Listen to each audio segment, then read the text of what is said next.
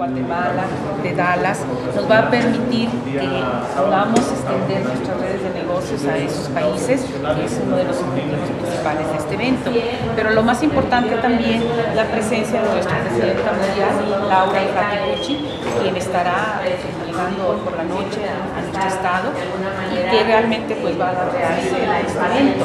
Además de los grandes conferencistas que ustedes tienen aquí en el tríptico y que van a hacer posible que podamos conocer pues nuevas ideas, ¿verdad? Como por ejemplo las de Gaunter Pauli, que es el creador de la economía azul, es un gran personaje, habla siete idiomas y maneja toda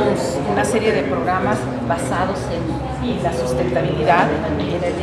cuidado al medio ambiente, que es realmente lo más importante para el futuro. Él va a estar con nosotros trabajando no solamente como periodista, sino también en un taller para niños, donde él va a transmitir sus ideas y también con los empresarios de Durango, ya directamente compartiendo sus proyectos que esté elaborando a nivel internacional.